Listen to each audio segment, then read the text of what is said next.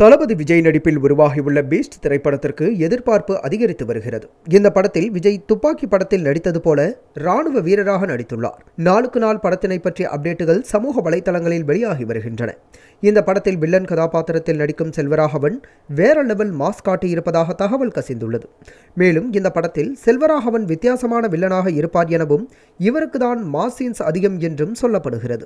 Beast படத்தில் செல்வராகவன் வில்லன்களை வழிநடத்தக்கூடிய ஒரு தலைவன் கதாபாத்திரத்தில் நடித்துள்ளாராம் படத்தின் இறுதி வரை செல்வராகவன் செய்யும் சம்பவங்களை கண்டுபிடிக்க முடியாதா? இதற்கு முன் விஜய் நடித்த மாஸ்டர் திரைப்படத்திலும் விஜயை விட விஜய் சேதுபதிக்கு தான் மாசின்ஸ் அதிகம் இருந்தது.